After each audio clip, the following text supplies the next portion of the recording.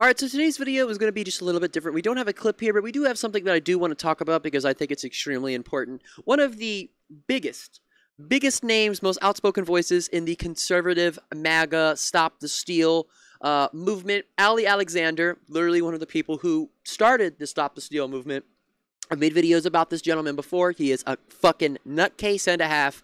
Um, he it, it came out that surprise, surprise, this dude was grooming children, sexually grooming children, sending nude pictures, and also asking for nude photos of people that were 15. So I don't know who's surprised about it, um, but over the weekend, this whole entire controversy uh, came to light. The far right is roiled by an underage sex scandal, and um, apparently, uh, Ali Alexander, this guy, who again I've made videos on, allegedly came on to two, two different teenage boys asking for nudes from a 17 year old and then pressuring a 15 year old to have sex with him. And you guys know the rhetoric from the left, I mean, from the right, that the left is all groomers. They're all pedos. They all like to groom children. Okay?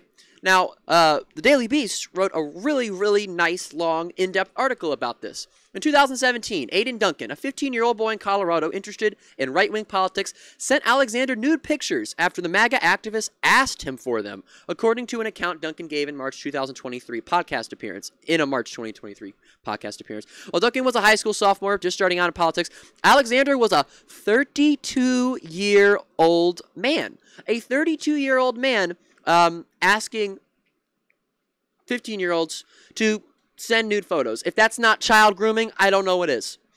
If that's if if this is not proof that every single thing the right says is uh, a confession, every single accusation they level against people on the left is an accusation that I don't know what is. I, I just don't know what is. If this is not proof for people that need to hear this shit, that everything the right says about the left is just the biggest goddamn lie. Like the left is the one grooming children. This dude's grooming children. He's actually grooming fucking kids.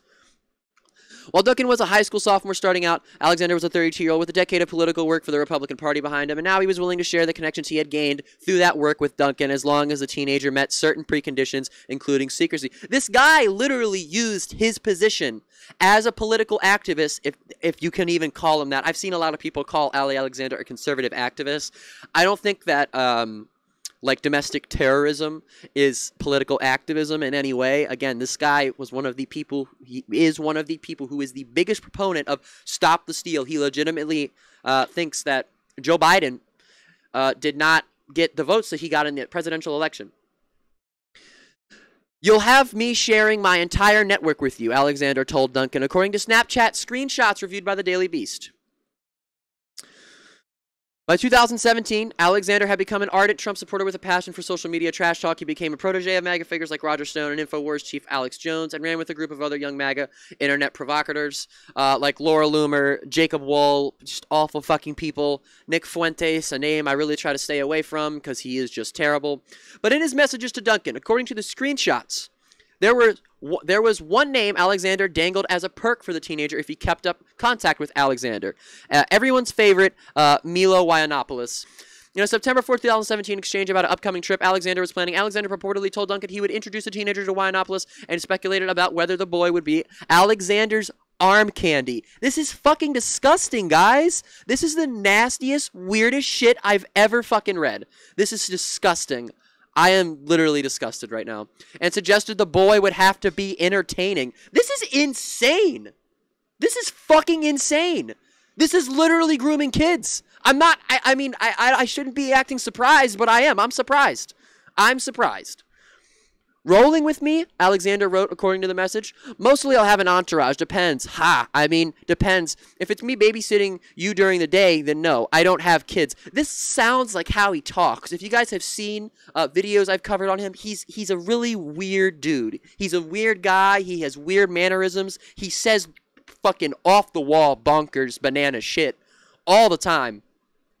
If it's something more entertaining, then maybe. All depends on what we're up to. No matter what, I'll let you meet Milo. He's this is fucking disgusting. I have no words for this shit. There's probably five people I'll introduce to him.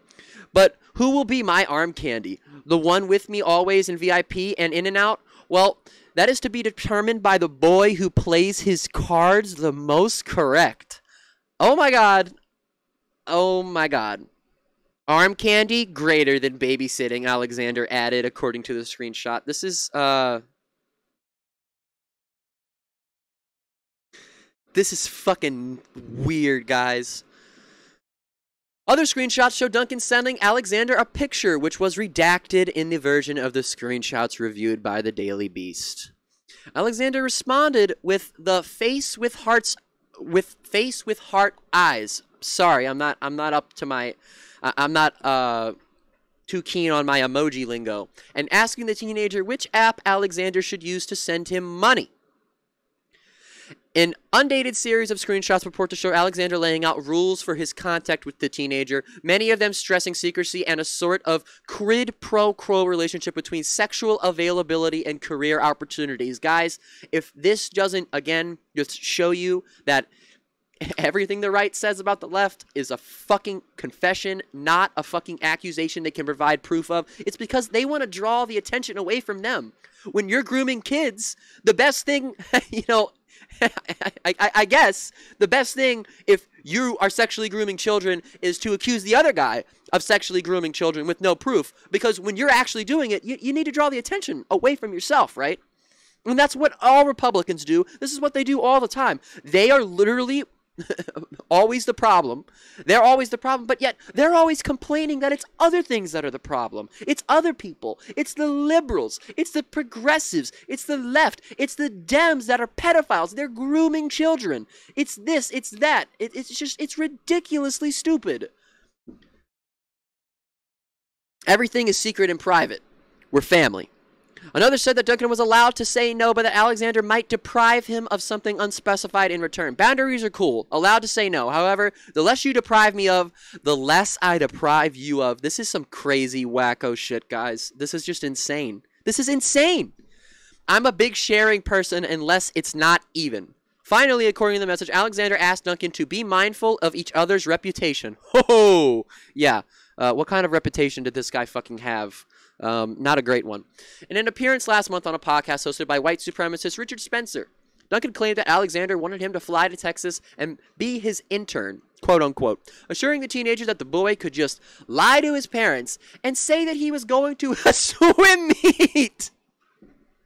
I, I I'm not trying to to like laugh about this stuff or anything, but it just it just everything that these conservatives and Republicans do is it just sounds like it's out of some goddamn like fucking crazy like drama comedy show.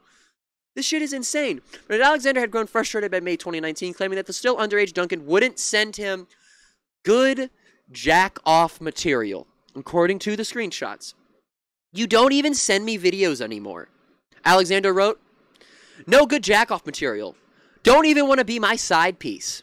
This is a a child. Okay? A day later, according to the screenshots, he asked Duncan to come to Texas for a week for an internship. I, I don't know. And apparently, the guy that's involved here, this guy, uh, the person who was being groomed, at least one of them, um, just is a part of Nick Fuentes' uh, huge network of um, crazy white supremacists. But um, uh, you know, there's there's a lot of other reporting.